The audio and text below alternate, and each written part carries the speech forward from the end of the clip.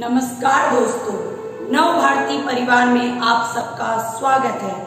आज मैं आपको प्रधानमंत्री की नियुक्ति कैसे होती है, उनका कार्यकाल क्या है, प्रधानमंत्री के उत्तरदायित्व क्या है और प्रधानमंत्री की भूमिका क्या है, इसके बारे में अध्ययन करेंगे। आप सब जानते हैं बच्चों, कि प्रधानमंत्री संघीय कार्यपालिका का किसका संघीय कार्यपालिका का प्रधान होता है। किसका प्रधान होता है? संघीय कार्यपालिका। संघीय कार्यपालिका का प्रधान होता है। प्रधानमंत्री नहीं, संघीय कार्यपालिका का प्रधानमंत्री होता है राष्ट्रपति। और हमारे देश में जो व्यवस्था है बच्चों, वो आप जानते ही हो, संघीय व्यवस्था संसदात्मक व्यवस्था विद्यमान है और ये संसदात्मक व्यवस्था हमने ब्रिटेन से ली है। ब्रिटेन में भी क्या है? एक नाम मात्र का अध्यक्ष होता है और एक वास्तविक अध्यक्ष होता है। वैसे ही हमारे भारत में भी दो प्रकार की सत्ता है, एक नाम मात्र की और एक है आपकी वास्तविक। क्या बताया मैंने? मैंने बताया संघीय कार्यपालिका का प्रधान जो होता है, वो राष्ट्रपति होता है। राष्ट्रपति के नाम से समस्त कार्यों का संचालन होता है। संसदात्मक शासन व्यवस्था जो हमने ब्रिटेन से ग्रहण करी है और ब्रिटेन के Westminster Westminster model पर आधारित है। कौन से मॉडल पर आधारित है? वेस्ट मिनिस्टर मॉडल पर आधारित है। इस मॉडल के आधार पर ब्रिटेन में भी दो प्रकार की सत्ता है, एक नाम मात्र की और एक वास्तविक। नाम मात्र की सत्ता वहाँ सम्राट के पास है और वास्तविक सत्ता वहाँ पर प्रधानमंत्री के पास है। वैसे ही हमारे भारत में भी दो प्रकार की सत्ता है बच्चों, एक नाम मात्र की है और एक वास्तविक सत्ता है। नाम मात्र की सत्ता जो है बच्चों, वो राष्ट्रपति के पास, किसके पास है? राष्ट्रपति के पास है, जबकि वास्तविक जो सत्ता है बच्चों, वो किसके पास है? प्रधानमंत्री के हाथों में दी गई है। और अगर हम भारत की बात करें तो भारत का जो आपका संविधान है, वो ये कहता है कि भारत का जो संवैधानिक प्रधान होगा, वो राष्ट्रपति होगा। अनुच्छेद तरेपन के अनुसार उसको सहायता देने के लिए कौन होंगे? अधिकारी होंगे। कौन होंगे? अधिकारी होंगे। ये कौन सा संविधान कहता अनुच्छेद कहता है। अनुच्छेद तरेपन कहता है कि संघीय कार्यपालिका का जो प्रधान होगा, वो राष्ट्रपति होगा और राष्ट्रपति अन्य अधिकारियों का सहयोग लेकर के कार्य करेगा, शासन का संचालन करेगा। अब बात आती है हम प्रधानमंत्री की। प्रधानमंत्री की बच्चों, अगर हम बात करें, किसकी बात करें? प्रधानमंत्री की। प्रधानमंत्री जो देश का वास्तविक शासक होता है, क्या होता है? प्रधानमंत्री जो कौन होता है? वास्तविक शासक होता है। शासन का शासक होता है। शासन का शासक होता है। दल का नेता होता है। दल का नेता होता है। कौन? प्रधानमंत्री। दल का नेता होता है। मंत्री परिषद का प्रधान होता है। मंत्री परिषद का प्रधान होता है। कौन? प्रधानमंत्री। लोकसभा का क्या होता है? नेता होता है।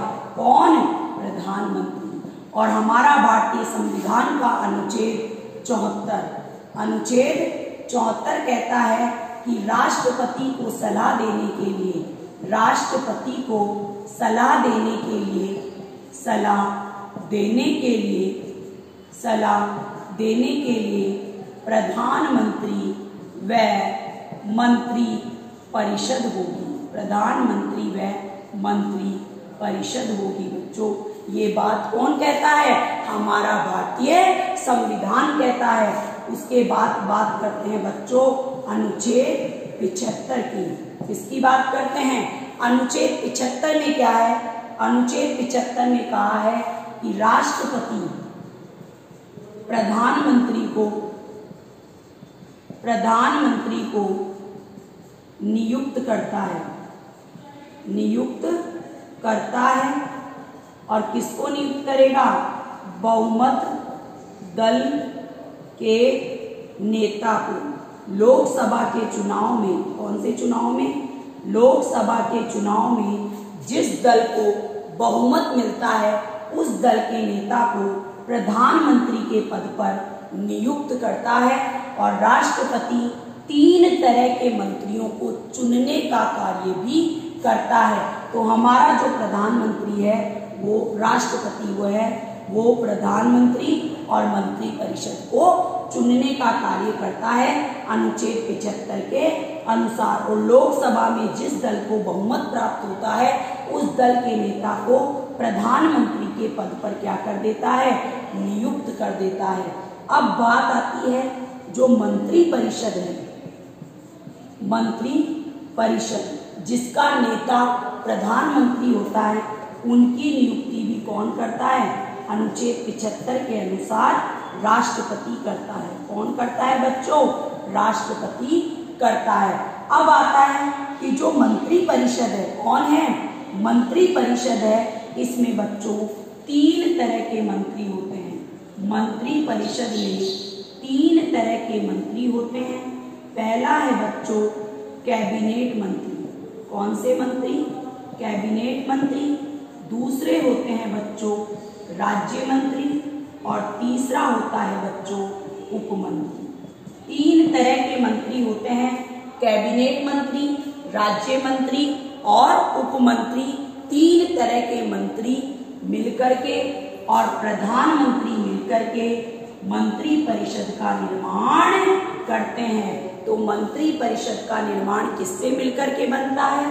कैबिनेट मंत्री, प्रधानमंत्री, राज्य मंत्री और उप मंत्री से मिलकर के मंत्री परिषद का निर्माण होता है और इन मंत्री परिषद के सदस्यों को भी नियुक्त करने का कार्य राष्ट्रपति के द्वारा किया जाता है। और लोकसभा में जिस दल को बहुमत प्राप्त होता है, उस दल में से ही मंत्री परिषद के सदस्यों को नियुक्त किया जाता है और मंत्री परिषद को नियुक्त करने में प्रधानमंत्री की क्या लेता है? सलाह लेगा ये बात तो हुई बच्चों, प्रधान, किसकी राष्ट्रपति की, कि संवैधानिक रूप से प्रधानमंत्री और मंत्री परिषद को चुनने का कार्य राष्ट्रपति करता है। लेकिन बच्चों, कई बार गठबंधन सरकार बनती है। कौन सी सरकार बनती है? गठबंधन या साझा।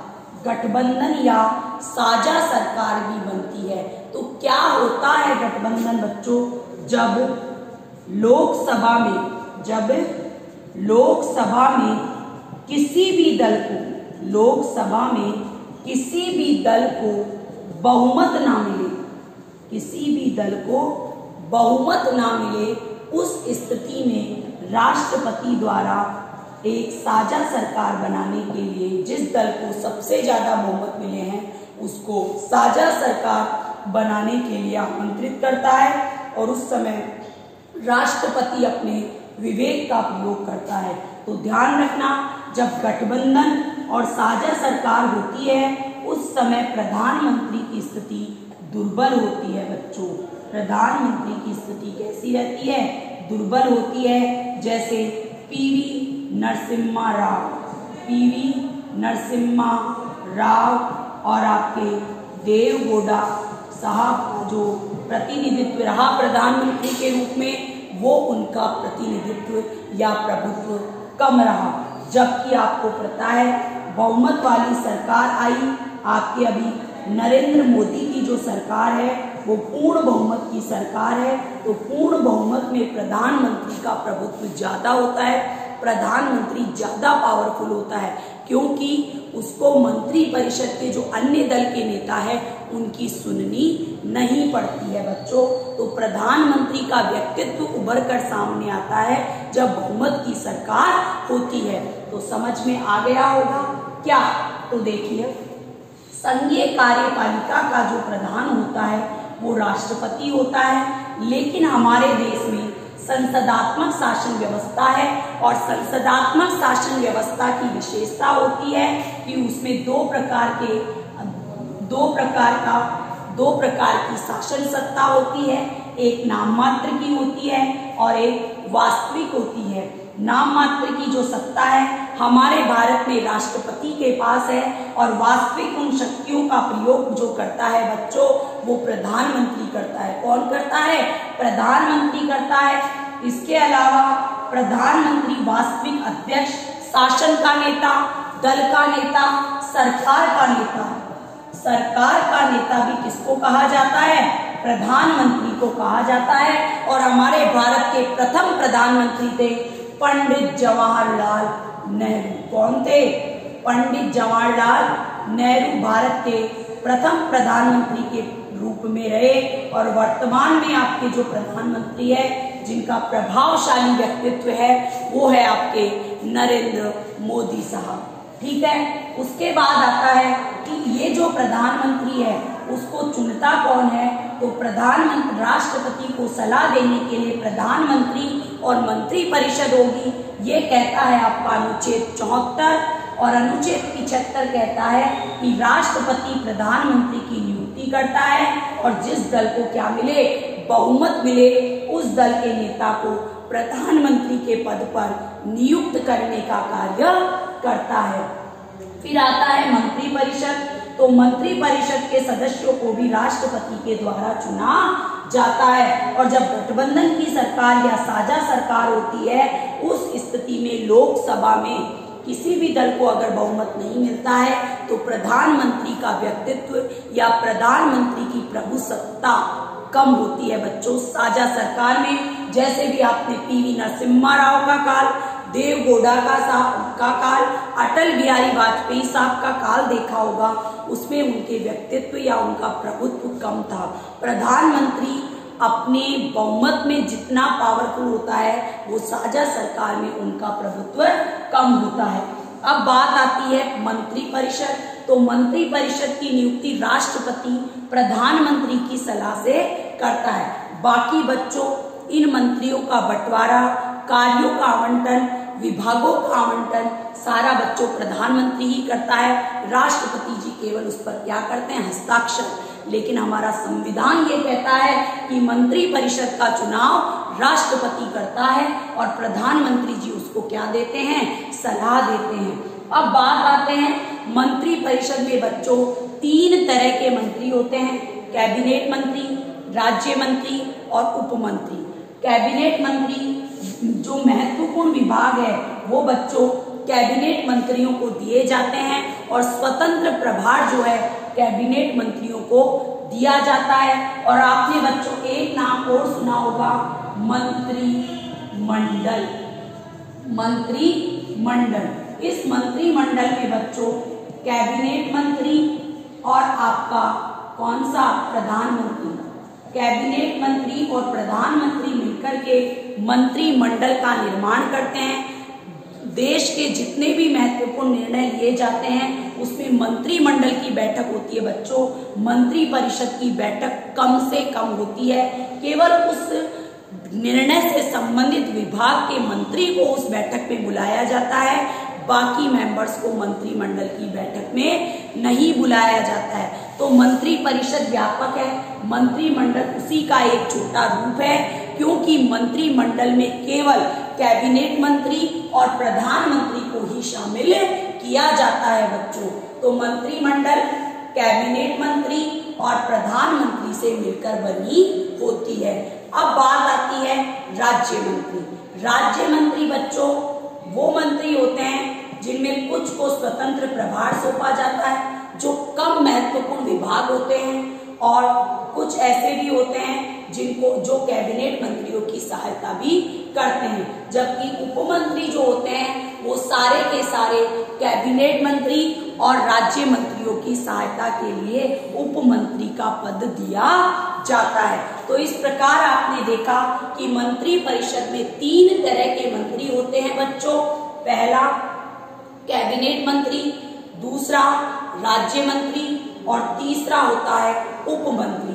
अब बात आती है कि प्रधानमंत्री और मंत्री परिषद का सदस्य बनने के लिए आप में क्या होनी चाहिए? योग्यता होनी चाहिए। देखो बच्चों, पहला तो आप सब जानते हो, भारत का नागरिक होना चाहिए, पागल या दिवालिया नहीं होना चाहिए।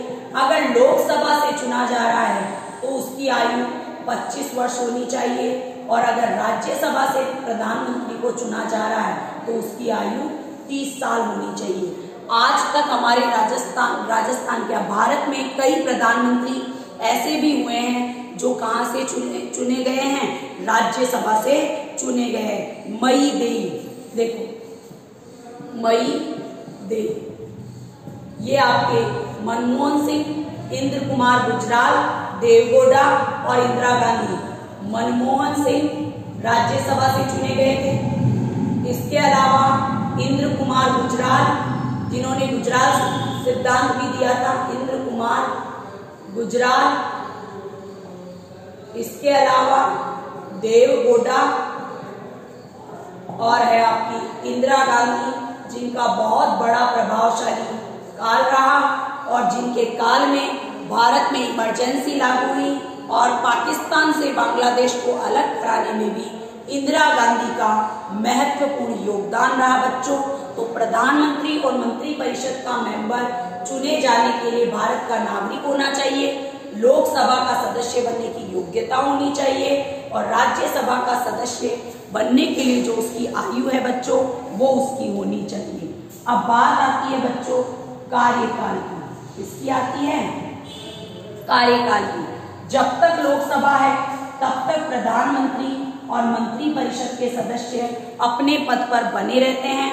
अगर लोकसभा में उनके प्रति अविश्वास प्रस्ताव लागू हो जाता है तो प्रधानमंत्री और मंत्री परिषद दोनों को त्याग पत्र देना पड़ता है बच्चों, और लोकसभा को समय से भंग करने का पावर राष्ट्रपति के पास है। तो अनुच्छेद पिचासी के अनुसार लोकसभा को समय से पहले भी भंग किया जा सकता है। तो प्रधानमंत्री और मंत्री परिषद सामूहिक रूप से व्यवस्थापिका के प्रति उत्तरदायी रहती है, लोकसभा के प्रति उत्तरदायी रहती है। तो लोकसभा में जब तक उसका बहुमत है, प्रधानमंत्री और उसकी मंत्री परिषद बनी रहती है। लेकिन अगर उनके विरुद्ध अविश्वास प्रस्ताव लागू हो जाए तो अविश्वास प्रस्ताव लागू होने के स्थिति में प्रधानमंत्री और मंत्री परिषद दोनों को क्या करना पड़ता है? त्याग पत्र देना पड़ता है। तो आपने देखा, प्रधानमंत्री और मंत्री परिषद की नियुक्ति कौन करता है? राष्ट्रपति करता है।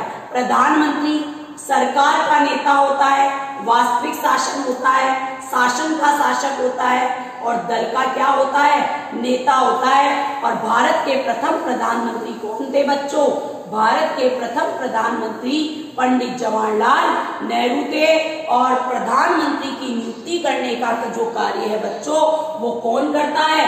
राष्ट्रपति करता है। और राष्ट्रपति को सलाह देने के लिए मंत्री परिषद होगी। ये हमारा भारतीय संविधान का अनुच्छेद चौहत्तर कहता है। इसके अलावा अनुच्छेद तिहत्तर कहता है कि राष्ट्रपति प्रधानमंत्री को नियुक्त करेगा, जिस दल का बहुमत होगा लोकसभा में, उस दल के नेता को प्रधानमंत्री बना देगा। और मंत्री परिषद का जो गठन करेगा मंत्री परिषद की जो नियुक्ति करेगा, वो भी राष्ट्रपति करेगा।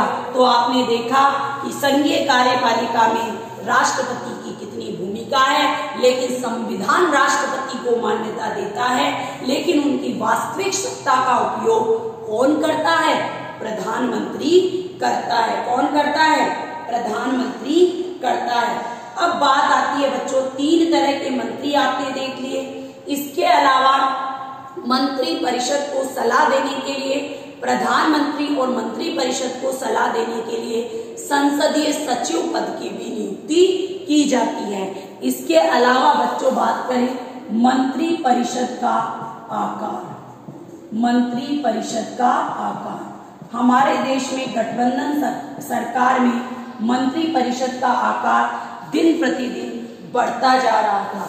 तो दिन प्रतिदिन जब आकार बढ़ता जा रहा था बच्चों तो इस आकार को सीमित करने के लिए हमारे भारतीय संविधान में बच्चों, क्या हुआ? संशोधन हुआ। उस संशोधन का नाम है बच्चों, इक्यानवेवा संविधान संशोधन। कौन सा संविधान संशोधन हुआ? इक्यानवेवा संविधान संशोधन। 2003 में हुआ बच्चों। कब हुआ? 2003 में हुआ। इस संविधान संशोधन के आधार पर कहा गया कि मंत्री परिषद मंत्री परिषद के सदस्यों की संख्या मंत्री परिषद के सदस्यों की संख्या। लोकसभा के लोकसभा के कुल सदस्यों,